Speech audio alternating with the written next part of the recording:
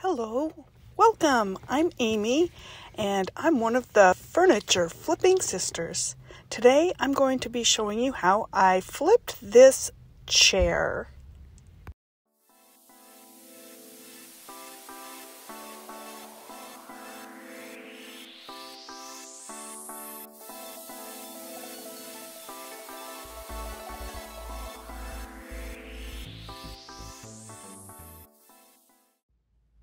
This is what the chair looked like before and after.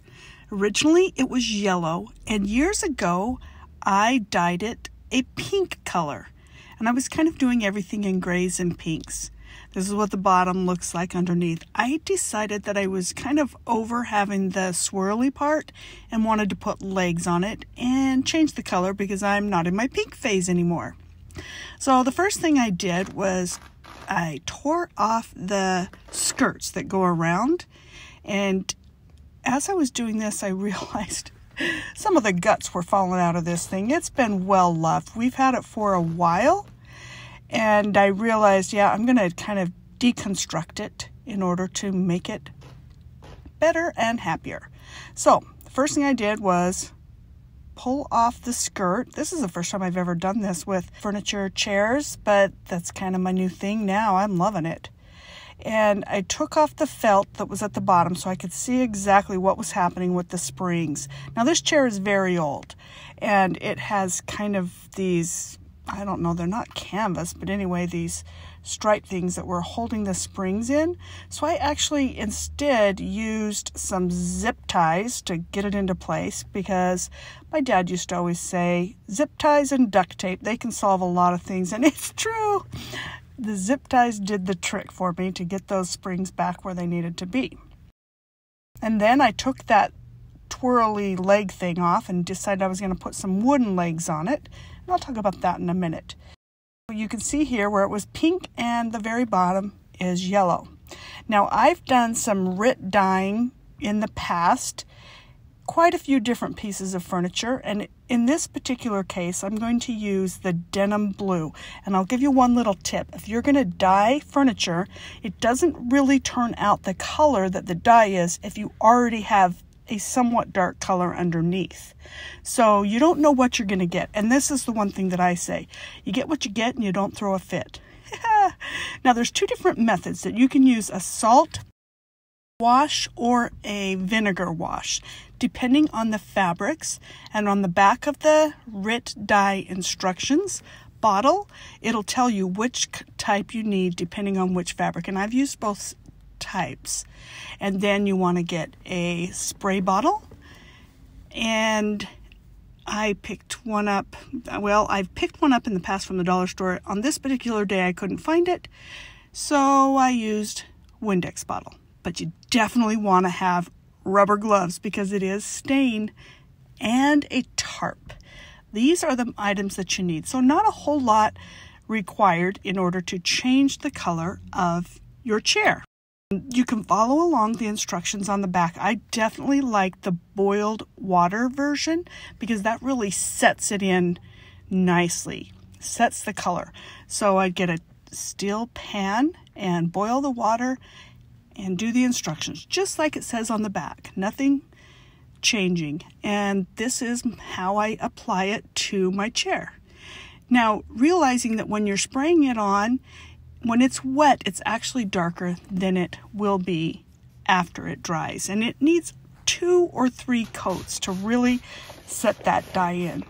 Now, when I was doing this chair, it was in the spring, and it happened to be at the peak of when building supplies were so expensive because of all the shortages. So my my legs were expensive and the hardware that it took to attach the legs were pretty expensive. But I just decided I wanted this update on this chair and it was worth it for me. So I went ahead and bit the bullet, bought the legs because I already took the other legs off and I wasn't going back to swivel. Then I decided that I wanted to bling up the buttons and give it a little more pizzazz. Now, realize while I'm doing this, I'm planning on keeping this for myself. I wasn't looking at it for a flip where I would sell it on Facebook Marketplace. that did change after I completed this project because I started more aggressively picking up free pieces wherever I could get them on the side of the road and wherever they were going on Facebook Marketplace. And I ended up with quite a few chairs. And so I needed to downsize some of the chairs. So ultimately, after I was completely done with this, I decided to go ahead and sell it. Now, as you can see, my blinged buttons are real fancy. E6000 and some gems that I picked up from the Dollar Tree. Glued these on, kept this for two or three months before I decided, oh, you know what, I'm going to put this on Facebook Marketplace. And those stuck really well. They're not in a place that get a lot of wear and tear.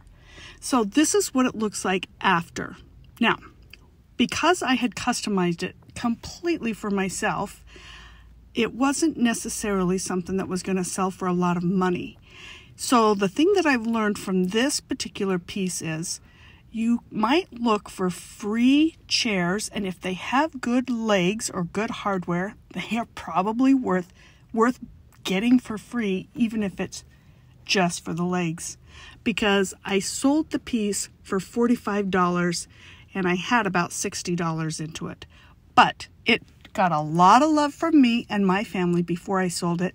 And when I finally decided, okay, it's time to Please release me, let me go. My sisters and I sing that song when we're getting rid of things. and once I decided that, I went ahead and just listed it for $45. Couldn't even remember how much I had into it anyway.